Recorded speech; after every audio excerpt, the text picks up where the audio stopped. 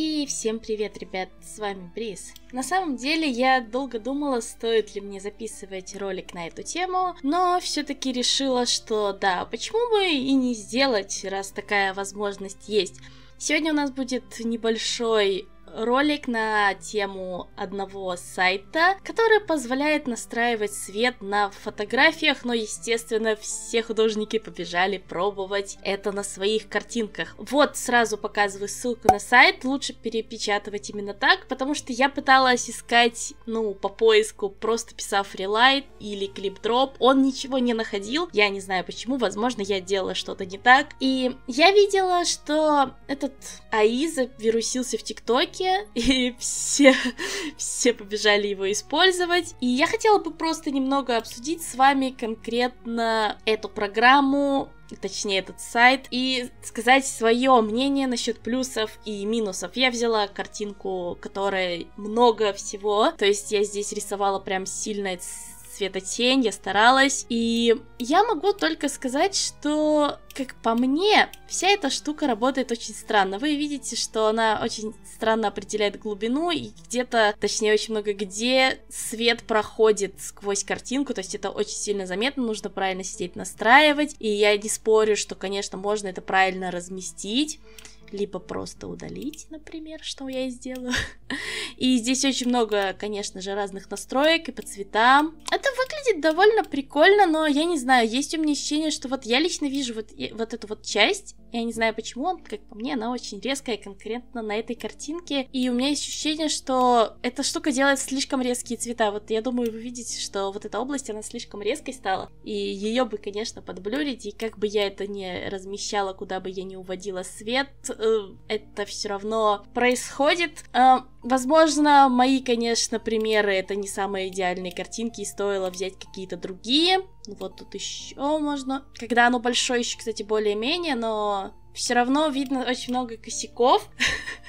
Давайте просто попробуем на другой картинке. Я специально беру какие-то более-менее картинки, где прям есть что показать, то есть э, где реально был какой-то рендер, потому что, ну, в противном случае, как по мне, эта штука в целом довольно бесполезна, если у вас э, нету каких-то знаний по поводу светотени. Я не знаю, не то чтобы я тут мастер светотени, на самом деле я тоже много чего не умею. Но вот на этой картинке это выглядит, кстати, более-менее, но опять же, мне больше нравится результат, который был у меня до этого. Не знаю почему. Просто выглядит очень странно.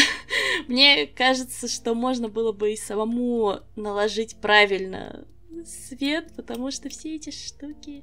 Ну, я не спорю, честно скажу, сам факт, что ты можешь не париться и загрузить свою картинку на сайт, если тебя все сделают, это довольно прикольно. Но давайте возьмем в пример какую-то картинку, где нету рендера, то есть какие-то стандартные тени, картинка плоская, то есть на ней ничего нет специально, чтобы посмотреть, как это выглядит. Итак, эм, картинка без теней, скетч, и, эм, по-моему, на ней видно, что АИ определенно мега несовершенен. На картинку с белым фоном вы навряд ли что-то сможете наложить, и здесь очень много белых пятен, и компьютер не понимает, где тут что находится, то, что на картинке нет какой-то глубины. Ну, то есть, э, если вы не раскрашиваете полноценно, не делаете full рендер, если вы делаете только плоские тени, я думаю, эта штука вам определенно не поможет, потому что, как по мне, это выглядит очень плохо. Мне кажется, как бы я тут свет не настраивала. Даже если вот поставим везде белый и здесь оставим синенький, мне кажется, это все равно выглядит очень странно. Он сильно затемняет картинку.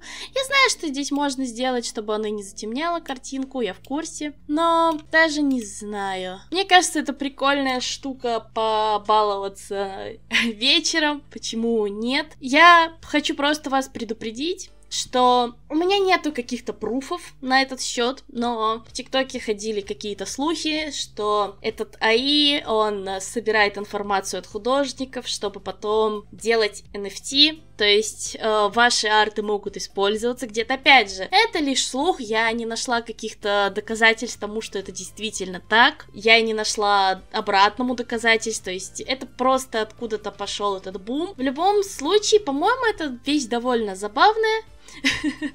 Я не знаю, я поделилась с вами своими мыслями на этот счет. Если вы баловались в таких вещах, можете рассказать. Но это, думаю, пройдет быстро, точно так же, как э, раньше был популярен АИ, который за тебя закрашивает картинку. Такая штука даже есть в Clip Studio, но ей особо никто не пользуется, потому что она очень кривая. В общем, так как и здесь это довольно криво. Ну, по крайней мере, мне так кажется. Я еще до того, как записала этот видос, я сидела и искала какие-то подходящие арты, но, если честно, конкретно на моих артах это не очень хорошо работает. Я не спорю, что на каких-нибудь супер-мега крутых картинках это, наверное, будет выглядеть лучше. Но, опять же, как по мне, это не так уж и сложно нарисовать самому свет по бокам, как это делает за вас компьютер. В любом случае, оставляют это на ваше мнение, сами решайте, пользоваться или нет. Пишите в комментариях, знали ли вы об этом и пользовались ли вы, как оно вам, будете ли вы этим действительно пользоваться в своих обычных рисунках. Ну и всем спасибо большое за просмотр. Ставьте лайки, подписывайтесь на канал, подписывайтесь на мой паблик ВК, может на Инст. Не знаю. Спасибо большое за просмотр еще раз и всем хорошего дня.